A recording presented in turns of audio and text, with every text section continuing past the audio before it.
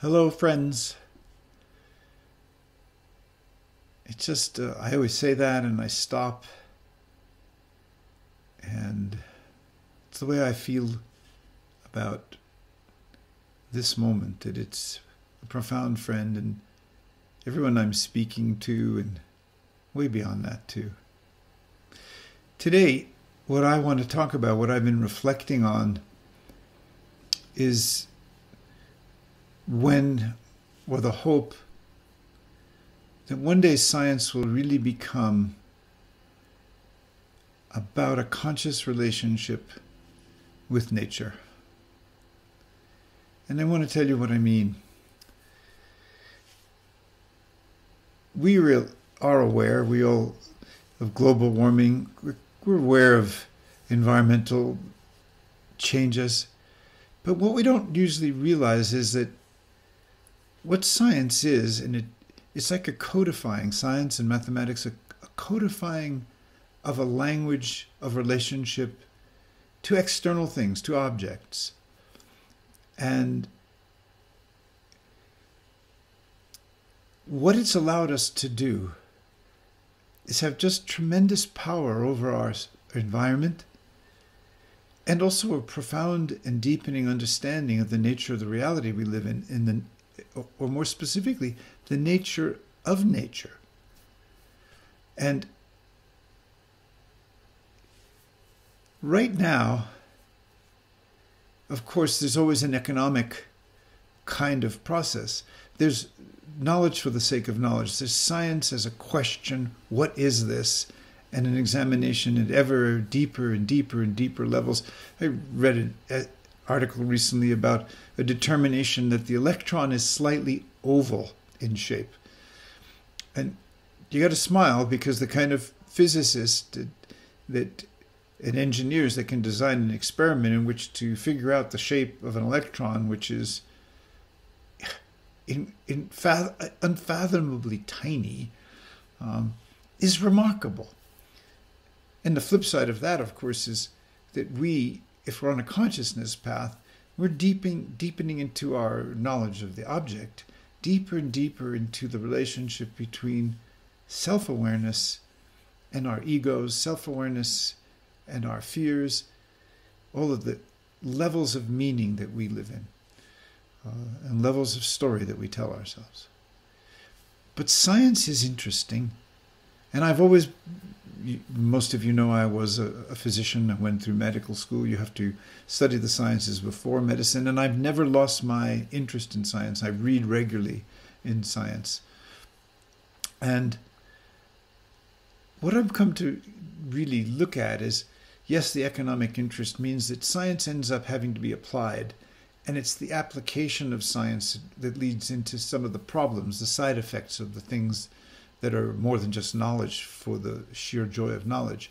But we have always, every time we figured out anything, if we figured out a stone that could be shattered in a way that you could make a knife point when we were 20, 30, 40, 50,000 years ago, we made those things. We made weapons for hunting, we made weapons for many purposes. Um, and of course, when we discover a drug, we market the drug. When we discover a mechanism in the body, we find a, if we can find a drug for it, we market that. And the, that's where things get complicated. But if you look really carefully at what science is doing, it's, it's actually letting us understand the nature of our universe. But more importantly, I would love it when science becomes a conscious relationship with nature. Think about what that would mean. Right now, we're learning so much about how nature operates bacteria, viruses, human bodies, the, our collaboration, our community with, with so many organisms that are not just the cells of the human body, but bacteria and viruses and fungi and other things.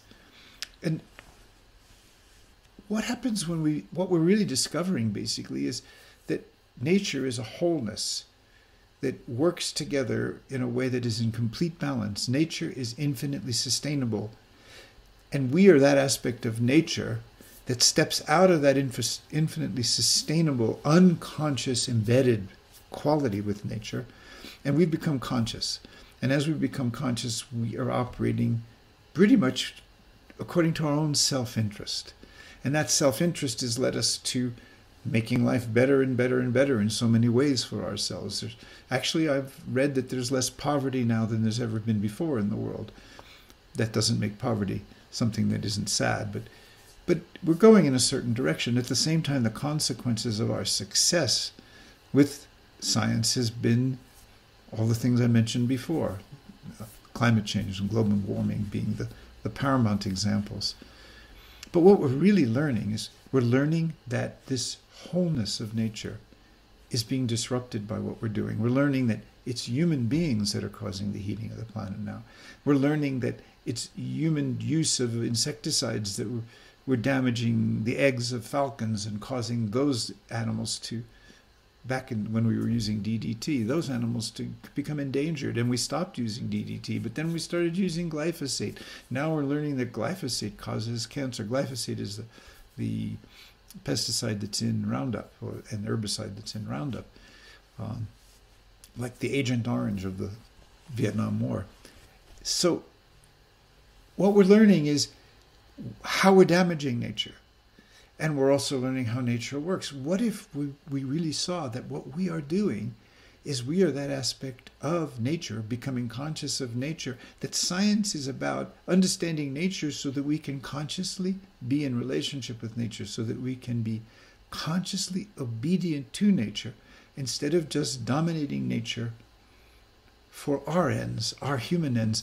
Imagine humanity understanding that we are earthlings understanding that our science is is allowing us to be conscious of nature itself so that we can become obedient to nature. We can literally build our world our societies our in, infrastructure our housing our food raising everything that we're doing. It could be in fact a conscious recreation of the infinite sustainability that nature is itself and no other creature is conscious of this. No other creature can go, oh my God, the glory of it. They live in it, they're embedded in it, they're part of it. No other creature that we know of. But here we are. So I'm just sharing that vision with you. For me, everything I learn is taking me closer and closer to not only love of this planet, but wanting our learning to be in service to what nature wants for us. If nature wanted, in a certain sense, if creation made us conscious, not so we could destroy the environment in which we evolved, but so that we become consciously celebration, conscious celebration, consciously celebrants of the magnificent, the wonderment of nature, and that we ourselves, we ourselves use all of our science and all of our technology. And I think that's where we're going to go if we are going to survive as a species. We're going to have to use our science and our applied sciences and our technology and our engineering, all in obedience to nature, to imitate nature consciously, to become that aspect of nature that's actually conscious of itself and lives in conscious wonderment, gratitude, and obedience to nature. Ridiculously far fetched, I know. But I actually think that's what we are. That's why we're here. That's where we have to go. We, humankind, and I don't know how much time we have to do that, but if we wanted to, oh my God, can you imagine? Thank you for letting me have a few moments to reflect like this with you.